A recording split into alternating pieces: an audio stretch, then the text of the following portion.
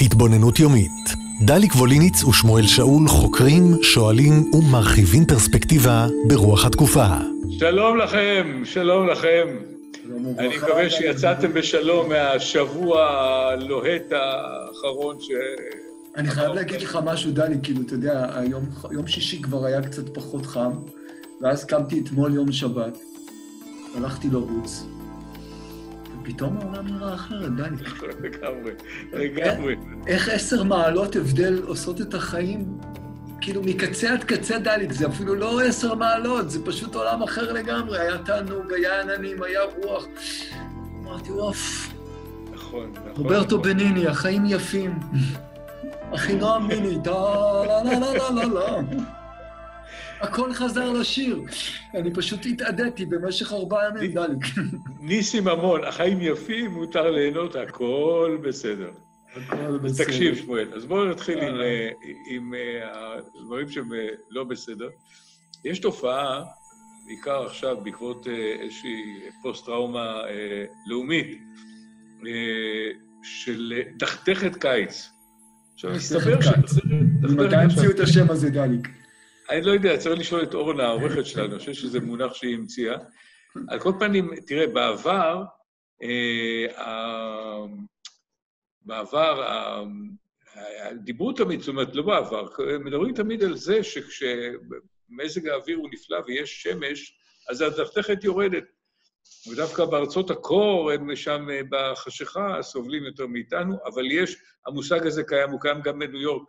אני יודע כי וודי אלן, בשחק אותה סם, מדבר על זה שבאוגוסט כל הפסיכולוגים יוצאים לחופש, ואז, ואז אנשים מתמוטטים. זאת אומרת, וודי אלן לא צריך הרבה בשביל להתמוטט, אבל, אבל אנשים מתמוטטים. אתה מכיר את התופעה, ואני שואל אותך עכשיו כמטפל. תראה, כמטפל, אני לא מכיר את התופעה, כי גם אני באוגוסט לא מטפל. בבקשה, בבקשה. כמו. החבר'ה של וודי אלן, אבל אני אגיד כן משהו אחר. אני חושב שהעולם הפסיכולוגי וההגדרות שלו, סליחה על הביקורת, עושה אותנו קצת יותר חולים. כי למחזור השנה יש איזה היגיון רוחני. ולקור בקיץ, סליחה, לקור בחורף ולחום בקיץ, יש איזה רעיון פנימי גם, זה לא רק איזה מזג האוויר שאנחנו צריכים להתמודד איתו. תחשוב שבמקור היינו אמורים להיות אחד עם הטבע, והיינו אמורים לחוות את מחזור השנה. ולמחזור השנה היה איזה היגיון פנימי של תהליך רוחני. זאת אומרת, למה אנחנו מגלים בפורים? כי זה אופס כזה, זה האביב, אז יש גילוי, ואנחנו יוצאים לחופש, גמר החורף, נגמר החורף, אנחנו יוצאים לחופש. והקיץ פתאום הכל עומד, אתה יודע, זה סטטי. עכשיו, זה נורא תלוי, כאילו, אתה הולך לומד פאנק שווי בסין, אז אומרים לך, קיץ זה חיים. אתה בא לארץ פה, איפה חיים? הכל צהוב, יבש, האדמה עם חריצים, הכל ככה. אז זה טוב בסין, כשבקיץ מלבלבים הכל, כל הטבע מלבלב. פה בקיץ הכל כבר זה ככה. כבר עכשיו אנחנו חודש מאי, אין פרחים יותר, האחרונים זה כל מיני uh, סוכחניים לבנים כאלה שעוד מצליחים להחזיק מעמד. אנחנו כבר בקיץ. Uh, ו... עקבתי אחרי החותמית הזיפנית וראיתי... גם אה, היא כבר עולה, עכשיו עולה, בסוף. עולה, עולה, עולה, עולה, פוף, נגמר. גם היא עכשיו פוף. אז אתה מבין, אז במקום כל ההגדרות האלה, דכדכת חי, קיץ, דיכאון חורף, שאנחנו נכנסים להיכנס להגדרות, בואו נלמד את האנשים להיות חלק מהטבע. בואו נלמד את האנשים לעבוד עם מחזור הטבע. אף אחד לא הבטיח לנו חיים מאושרים כל הזמן. אתה יודע, אני חושב שזה משהו שהוא מאוד מאוד משמעותי, ואני שם עליו דגש. אני יכול להרגיש רע, זה בסדר גמור, אף אחד לא הבטיח לי להרגיש טוב כל הזמן. אבל איך אני מגיב כשאני מרגיש רע, זה הבעיה. איך אני מגיב, אם אני עושה מזה דרמה, או, או אני אומר, אוקיי, זהו, sometimes bad days, כאילו יש לפעמים ימים רעים. עכשיו זה כך, עכשיו עכשיו זה כך. כך, עכשיו זה כך. עכשיו אני אגיד לך איזה משהו, דליק, אחר, כאילו, מהכיוון הזה, ואני רוצה להכניס אותו לתוכנית. באיזה ספר, בתיאטרון השמאני שאני עושה, אתה יודע. אז הייתי בתוך איזו חוויה, בא השיר It's now or never. It's now or never, אתה מכיר את השיר הזה? It's now or never. ופתאום הבנתי שזה זה האמת הרוחנית הכי גבוהה שיש. אין אמת יותר רוחנית יותר גבוהה. It's now או never, או שאני חי את הרגע הזה עד הסוף, ואם לא, גון. כאילו, כתב לי חבר באיזה מסע שהוא עשה, אומר לי, שמואל, תדע לך, כל יום שעבר נספר. זאת אומרת, אם יש יום אחד שלא חיית בו, ולא נהנית ממנו, ולא נשמת בו טוב, אז הוא נספר, הלך, אין, הוא כבר, אתה, הספירה מתקדמת, אנחנו מתקדמים, כאילו, זה לא נעצר במקום. אז אני מציע לכל הגדורות האלה, מי שרע לו בקיץ, שיבוא וניתן לו אהבה, או אני מציע לו, לך למים צלולים, כנס למעיינות, זה דבר נפלא לשבת בקיץ במעיינות. אוקיי, לא תהיה לבד בארץ ישראל בקיץ במעיינות, זה הבטחה גמורה, בשום מקום. ועדיין יש מים טובים במקורות הירדן, ויש, אם אתם רוצים, ספר אה, מסלולים, מעיין אחד לכל יום. אתה יכול ללכת 365 מעיינות, כל יום למעיין אחר בשנה, לטבול במים חיים זה נהדר בקיץ. אז זה דעתי על דכדך את הקיץ, דלי, כאילו.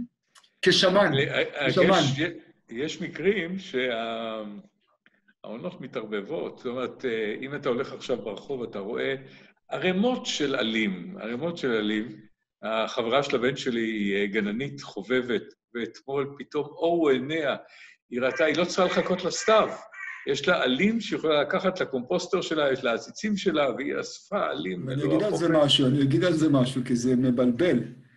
השרב היה כל כך קשה גם לעצים. הוא פשוט שרף. נכון, נכון. כמו שאנחנו נכון, יכולים נכון. להישרף, השרב פשוט נכון. שרף. זה לא היה נש...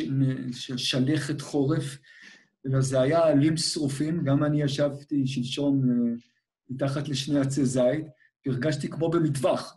בום, בום, בום, בום, בום, כל הזמן העלים, וזה עלים שרופים שנשרפו בארבע ימים הקשים האלה.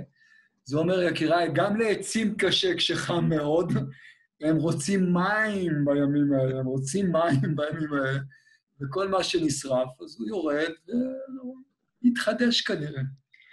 אז... שמואל, כן. אני רוצה, אני רוצה, אפרופו בריאות נפש, אה, אולי יש, יש דברים שאנחנו צריכים ללמוד מראש הממשלה שלנו, שמשפטו נפתח היום, והאיש שורד תחת אה, לחצים נפשיים שאני לא מבין, אני לא מבין איך.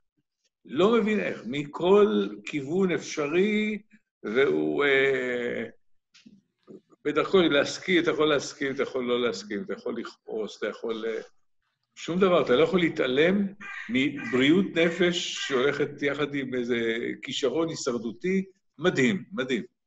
תראה, אני אגיד משהו לזכותו, שזה יפה. כשאדם נמצא בסנטר שלו ומאמין בכוח שלו, ובמקרה שלנו גם מאמין בצדקתו, ובדרכו, אז זה נותן מלא כוח. אמונה נותנת מלא כוח. ואין מה לעשות, יודע, בין אם אני אוהב את דעותיו או לא, הבחור קוסם, הבחור יודע להזיז במרחב כוחות, הבחור יודע לנצל את הכוחות לטובת עצמו. במקום הזה אשף, ממש אשף, אה, ואני חושב שיש במקום הזה הרבה מה ללמוד, כאילו, שמור על המרכז שלך, שמור על האמונה שלך בעצמך, תחצה כל גשר, זה באמת ככה, וזה זה מדהים לראות מה שאתה אומר, זו תופעה שהיא ראויה להערכה. אני בטוח שהוא לא אוהב את זה, אתה יודע, במיוחד ה... אתה יודע, היום זה איך שאתה מצטלם, כאילו, לא רצה להופיע במשפט, כי זה לא מצטלם טוב. כי זה לא שזה לא מצטלם טוב פה בארץ, זה היום לא מצטלם טוב בכל רחבי העולם, אתה יודע, אין מצב שזה לא יופיע בכותרות ראשיות במדינות שונות. והיום התקשורת, כמו שאנחנו יודעים, מוציאה אותך טוב ומוציאה אותך גם פחות טוב, אין מה לעשות. אז... לגמרי. אז תשמרו על המרכז שלכם, זה גם טוב לדכדך את קיץ, לשמור על המרכז. טוב, אנחנו עכשיו אה, נעים ליפן הרחוקה. יפן. יפן יפן, כן. וביפן הייתה, הייתה על זה כתבה בעיתון הארץ. ביפן כל איש, כל איש, ואני חושב שכמעט בכל המחוזות של יפן, כי הסכנה ברורה ומיידית שם כמעט בכל מקום, יש לו תיק. אגב, גם לנו אמור להיות, אם תיכנס לאתר של פיקוד העורף, מבקשים לך להכין תיק למקרה של, אתה יודע, 3,000 טילים על ישראל, או רעידת אדמה, שבוא תבוא, אנחנו לא יודעים אם תבוא בעוד שש דקות או בעוד 60 שנה, אבל uh, ככה זה במזרח התיכון, ככה זה שאתה יושב על uh, השבר הסורי-אפריקאי, אבל uh, יש שם מדינה שלמה שיושבת עם תיק ומתרגלת את זה, ושם ביפן, כשאומרים לך להכין תיק, אתה מכין תיק, אתה יודע איפה הוא. והשאלה היא... אה, זאת אומרת, זה עם בעצם שנמצא כל הזמן במצב של, אה, של סף טראומה, של חרדה, בעצם של חרדה, איזשהו סוג של חרדה. והשאלה היא מה קורה אצלנו. כי לנו יש סכנות בלי עין הרע, בלי עין הרע, טילים מפה, מאיזה, רעידת אדמה שאולי תבוא, אה, צבאות שחונים על אה, גבולותינו, אה, מנהיגים שעושים הכל חוץ מלנסות ליצור שלום, מה שמקרב את האסון הבא, לצערנו. חמסה חמסה שלא יבוא, אבל יש לנו יכולת הדחקה שאין ליפנים, אני חושב. אנחנו חיים על סף הר הגעש הזה ומסתלבטים. תראה, אני אגיד איזה משהו שאני מאמין בו באמונה מלאה, כי טיילתי הרבה בעולם. אני חושב שלישראלי הממוצע יש תושייה שאין נוטה לעמים אחרים. יכול להיות שמשהו בהישרדות שלנו לאורך הדורות פיתח בתוכנו את יכולת התושייה. כאילו, אני סתם אתן איזו דוגמה. יצא לי לטייל פעם בהוואי עם קבוצה, והתקלקל האוטובוס. אז צלצלתי למשרד שם, ואמרתי, תשלחו לי אוטובוס אחר. כאילו, כל ישראלי היה חושב על זה, כאילו, לא צריך להיות גאון גדול. אבל בארצות הברית הם חשבו אחרת, אמרו, לא, זה האוטובוס שלך, אין אוטובוס אחר בשבילך, אתה תחכה עד שהוא יתוקן. כלומר, יכול להיות מתוקן גם מחר. אז זה מה שאתה תעשה, אתה תחכה שהוא יתוקן עד מחר. אבל אנחנו באמצע שום מקום. זה מה יש, יקירי, כאילו. ולעומת זה הייתי פעם ברכבת שנוסעת מקוסקו למאצ'ו פיצ'ו בפרו, והיה תקלה ברכבת, והיה לי איזה מישהו בקבוצה שהוא היה מכונאי, והוא הלך ותיקן את הרכבת. כשכל הפרואנים, הוא ראה, כי הוא עמד בצד, והוא ראה שכל הפרואנים מסתבכים ולא יודעים מה הם עושים, נכנס מתחת לרכבת, טק, טק, טק, טק, טק, טק, תיקן הכל, קיבל נסיעה חינם לכל חייו ברכבת בין מאצ'ו פיצ'ו לקוסקו. לא חשוב, הוא לא חזר לשם, אבל קיבל נסיעה חינם כל חייו. ויש לנו איזו תושייה ממוצעת, שאנחנו, יש לנו את היכולת שאנחנו מרגישים שכשיגיע הרגע אנחנו נפתור את העניין הזה. אז זה בטופ שלו. החולשה של זה, זה שאנחנו אוקיי, כאילו, יהיה בסדר, אין מה לדאוג, לנו זה לא יקרה. אנחנו סטגלנים בצורה חיובית וגם בצורה שלילית, אבל אני גם חושב שלחיות עם איזה אלארם קבוע, תחשוב איזה מין תודעה זאת, איזה מין תודעה זאת זה לחיות עם תקבילות, כאילו. תודעה לא טובה, אני חושב, זה ממש ככה. אז... אני מאחל ליפנים שיהיה להם בסדר, וגם שלנו יהיה בסדר. אז אה, עוד שתי מילים על זה. תראה, אנחנו בערוץ שלנו מדברים על לעשות שלום בתוכנו, לעשות שלום בתוכנו זה גם שלום אישי, וזה גם שלום ביני ובינך, ובין uh, השבטים פה בתוך הארץ הזאת, אבל גם לעשות שלום עם uh, אויבינו, כי uh, של שלום עושים עם אויבים, אנחנו לא עושים את זה. ואלוף uh, בריק, מי שהיה... Uh, גם אחראי על, איך זה נקרא, על התלונות בצבא, וגם היה אלוף בצבא, היה מפקד גיס וכן הלאה. אה, הוא, אה, שוב, לבקשת הצבא, עשה תחקיר גדול על צה"ל, ומדבר על זה שאנחנו לא, לא מוכנים למלחמה. פשוט אה, לא מוכנים, לא מתורגלים מספיק, אין לנו ציוד מספיק, אנחנו צריכים הרבה יותר כסף, שעכשיו הלך כולו לקורונה, אנחנו לא, לא מתורגלים מספיק. הצירוף הזה, של אי-עשיית אה, שלום, ואנחנו יודעים מה בפתח, אה, אנחנו הולכים להחריף את היחסים שלנו עם הסובבים אותנו, ו... שלו. בתקווה, בתקווה הגדולה שלו. ו, ובמקביל, העובדה שאנחנו אה, לא מכינים את עצמנו למלחמה, ותראה, בודהיסטים הם לא, הם לא פציפיסטים. אם מתקיפים אותם, הם, הם אמורים להגן על עצמם, הם, יש להם הערכת גם אצלנו אומרים, דני, קקם להורגך, השכם להורגו. כן, בסדר, לא, זה ברור. במזרח התיכון בטח, אבל אני, אני אומר, גם, אה, גם אה, יפי הנפש, אני אוהב יפי הנפש, אבל גם יפי הנפש... דני, אבל אני, אני רוצה להגיד על זה משהו, כי זו תודעה, תודעה ציבורית, כן? כן.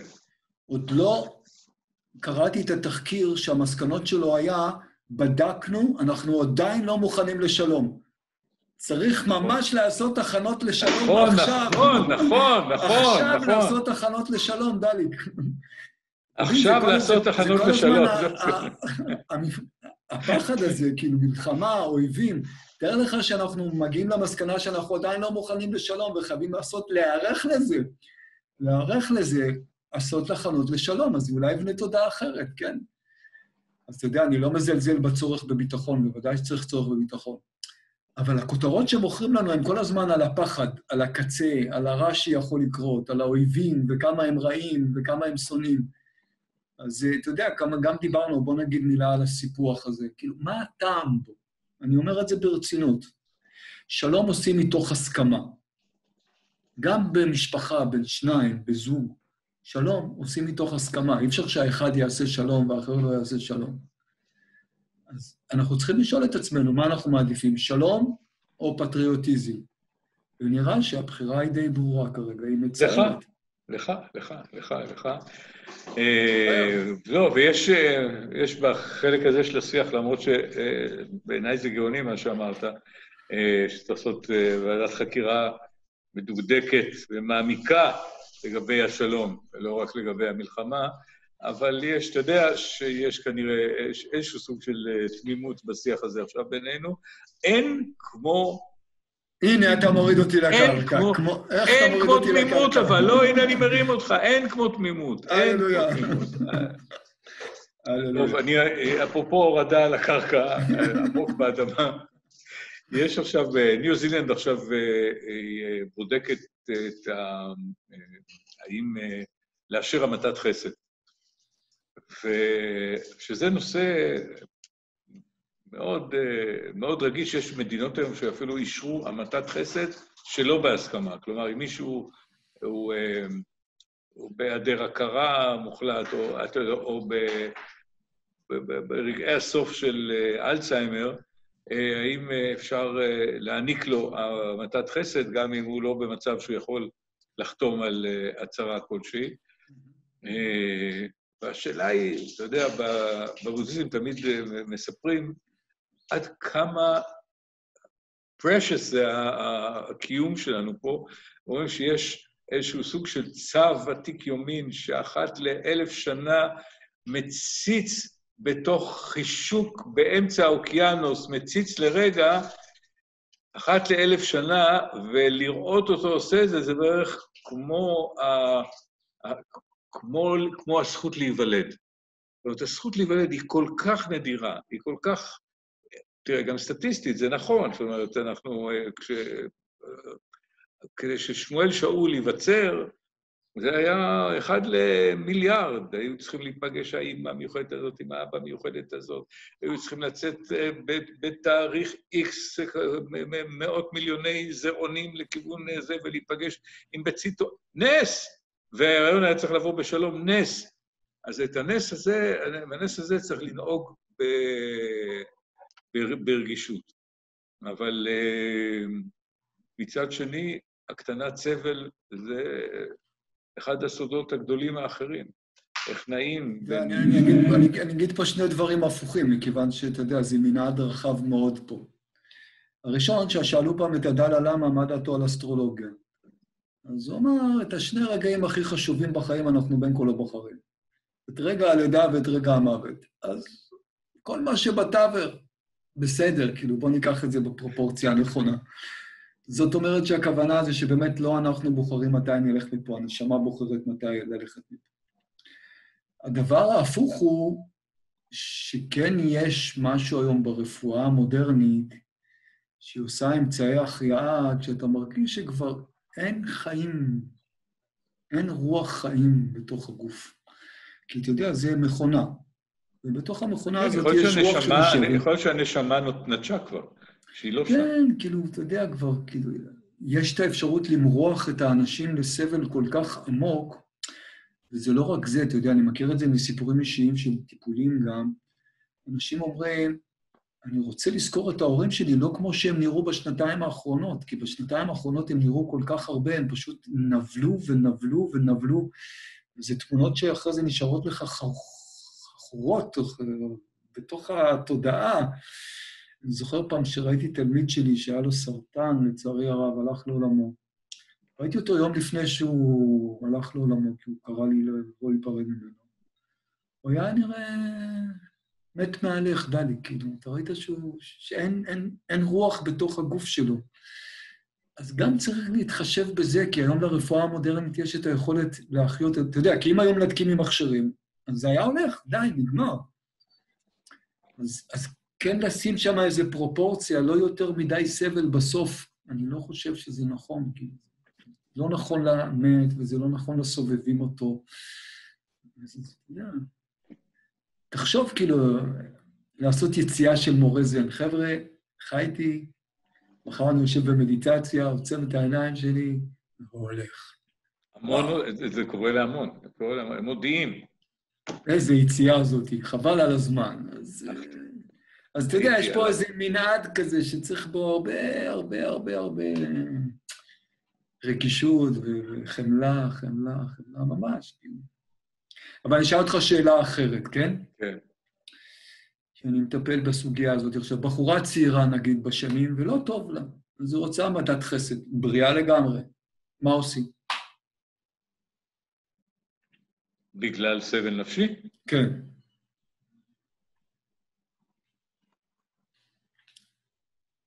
אתה מבין? יש זה דברים שהם...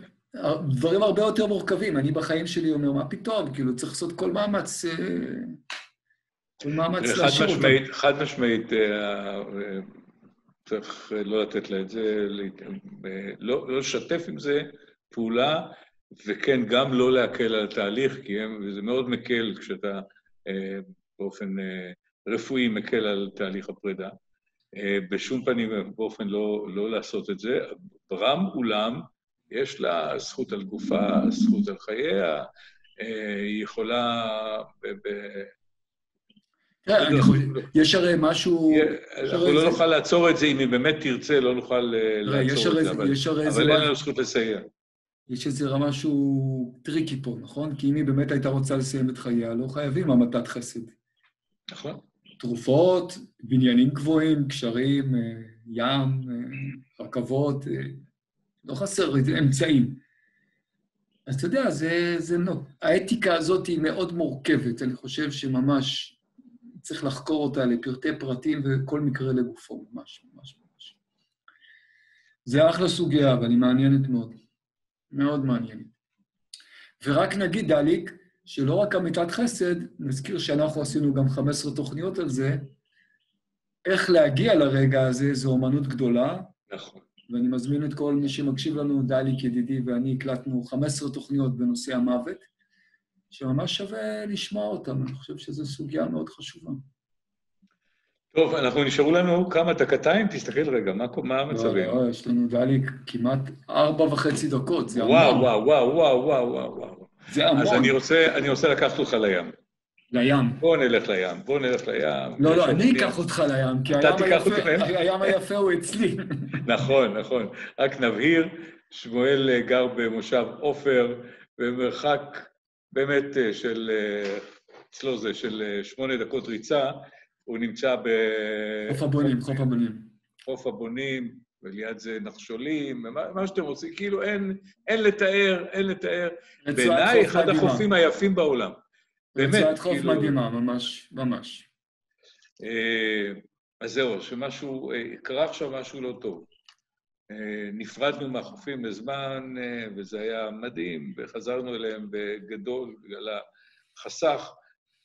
ומה שקרה, שמואל, זה שכל המסעדות וכל מערכת ה-take-away עברה לשימוש בכלים חד פעמיים. לא טוב. עכשיו, אין לתאר כמה הסיפור הזה הוא בעייתי, אין לתאר. ועשו את זה מטעמי בריאות, מטעמי קורונה, ככה, חד פעמי, אם אתה לא מקבל את הזיהום של מישהו שיכל אה, לפניך, או מישהו שאחריך לא, לא יתענג על הזיהום שלך, אבל מדובר בזיהום אה, של, אה, של כל הסובב אותנו ברמות שלא ניתנות לתיקון. צריך רק לצלול במרחק של 20 מטר מה, מהחוף ולראות מה קורה שם. אשפה, אני פעם ראיתי בפלמחים, פשוט לא יאומן, אני מקווה שבנחשולים זה אחרת. דליק, דליק, אני אוריד אותך לקרקע, חוף הבונים שהיה נקי כל החורף, אנשים חזרו לים רק לפני שבוע, וכבר יש אה, בקבוקי פלסטיק, שקיות זבל. לא מובן הדבר, אתם יודעים, לפעמים אני מנסה לחשוב מה עובר בראש של האנשים. אתה בא לים, יש לך זבל. מה, כאילו, איך אתה חושב שהוא יתנקה, כאילו? מה, יש לו רגליים?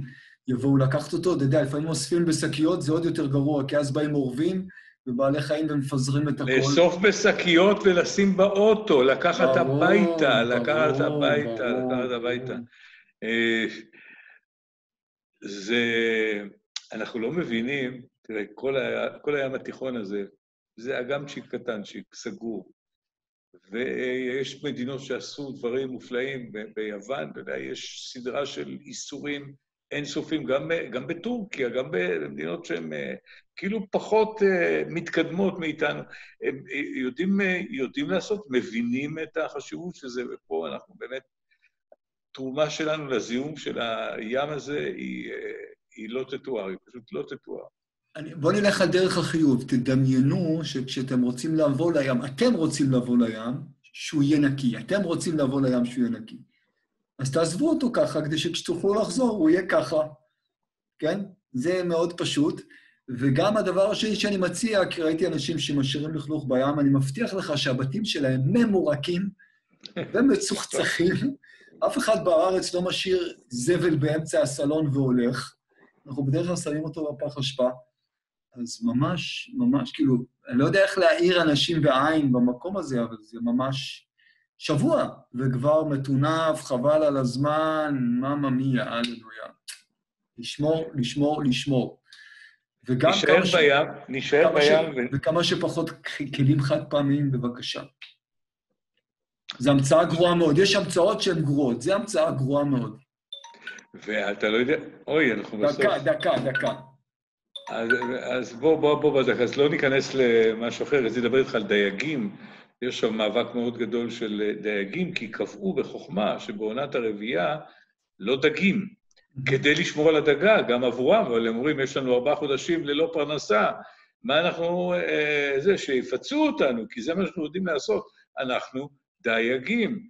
אה, מה לעשות שהדייגים של פעם, שדגו אה, עשרה דגים למשמרת, הם לא הדגים של היום, הדייגים של היום, שהם באים עם רשתות ענק ומוציאים את כל, את כל הדגים גדולים וקטנים. בקיצור, סיפור, סיפור של... אז אני אגיד אז אני אגיד מילה, מילה אחת, כי אני בן דייג. אני וואלה. אבא שלי היה דייג, ובמהלך חיי, מכיוון שהייתי עד לעבודתו של אבי, הוא אמר שיש כל הזמן פחות ופחות דגים בים, לא רק בגלל שדגים בעונת הרבייה, אלא בעיקר בגלל שהים פחות נקי. אז אם חזרנו על קודם, אז גם לא שפכים לים, ולשמור, לשמור, לשמור. הכל מתחבר. הכל מתחבר. דני, כדאי לנו תוכנית תוססת, שיהיה לנו שבוע נפלא. יום רביעי אנחנו מבטיחים עם ספיישל שבועות, כדאי לכם להיות איתנו, אנחנו נדבר דברים וסודות גדולים על שבועות. אורנה יקיר, תודה רבה. תודה רבה, תודה רבה. ביי, להתראות. התבוננות יומית. דליק ווליניץ ושמואל שאול חוקרים, שואלים ומרחיבים פרספקטיבה ברוח התקופה.